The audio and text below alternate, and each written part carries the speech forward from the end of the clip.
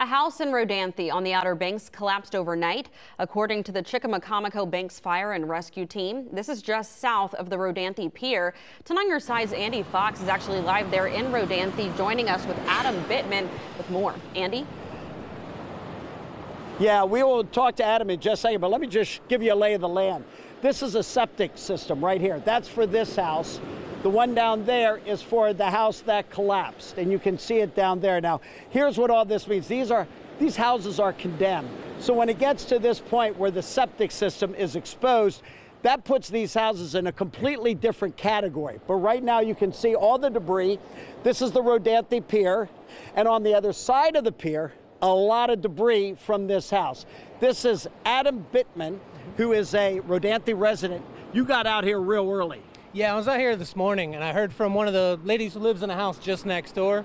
We had a tough line of storms about four in the morning last night and she heard a loud crack and the whole house fell down in there. I'm going to continue asking you questions and he's going to continue getting the video, Paul, right there. Tell me, when you came out here, it was scattered everywhere. Huh? Oh yeah, it's a whole house, all of its contents, all of the insides, the propane, the every bit that was inside of a fully furnished house scattered across. And here's the air conditioning unit here. That's the septic system there for that house, the one here. That's it. I mean, these houses are done when that happens. There's no more beach available to keep these houses operating. Yeah, there's no way to make this safe. Um, what's challenging though is that it's obvious that these aren't safe and there's federal legislation that somehow makes it incentivized so that they stay fully furnished. This house that's next to it, ready to go anytime we get a bad storm, is going to be full of everything a house is. For some insurance reason, is what we're always told.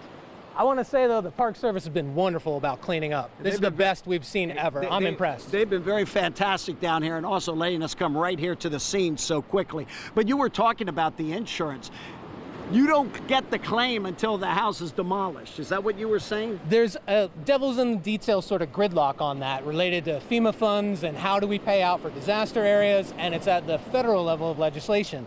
So the Park Service here doesn't want to have to be doing this. Local residents don't want it, tourists don't want it, but we're locked up in big money that we don't have anything to do with. It's three stages from anybody we know.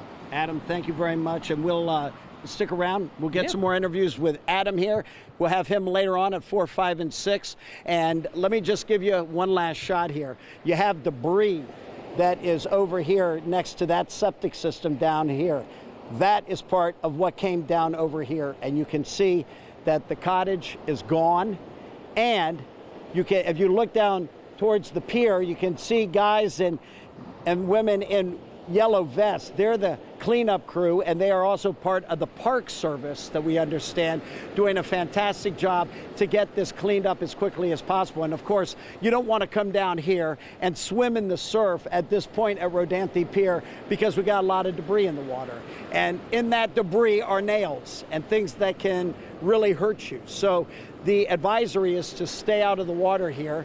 We are down here on site, and I will have reports coming up at 4, 5, and 6. In Rodanthe, Andy Fox, 10 on your side.